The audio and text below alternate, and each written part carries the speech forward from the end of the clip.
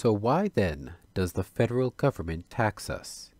If it doesn't actually get anything to spend, or need to get anything to spend.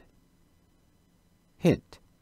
It's the same reason that the parents demand 10 coupons a week from their children, when the parents don't actually need the coupons for anything. There is a very good reason it taxes us. Taxes create an ongoing need in the economy to get dollars, and therefore an ongoing need for people to sell their goods and services and labor to get dollars.